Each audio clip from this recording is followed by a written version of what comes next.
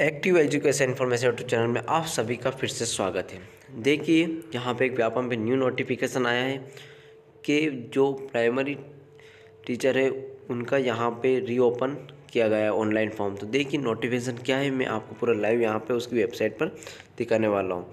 देखिए, ये जो एडवर्टाइजमेंट दिया गया है reopen primary school teacher agility test 2020 यानी कि यहाँ आवेदन वापस से रीओपन किया गया है। और पहले आपने यदि आवेदन डाला है तो इसका फॉर्म आप नहीं डाल सकते हो। तो विज्ञापन क्या है कि प्राथमिक शिक्षा के पदों हेतु तो पात्रता परीक्षा का आयोजन किया जाना है। ठीक है, केवल नवीन आवेदक ही ऑनलाइन आवेदन करें, पुराने जिन्होंने फॉर्म डाला है वो आवेदन नहीं करें और आवेदन का जो दिनांक है वो चौदह दिसंबर 2021 से स्टार्ट होगा तो अट्ठाईस दिसंबर 2021 तक ऑनलाइन आवेदन किए जाएँगे। और यदि आपका किसी भी प्रकार का फॉर्म में मिस्टेक होता है तो आप 2 जनवरी 2021 तक इसमें संशोधन कर सकते हो।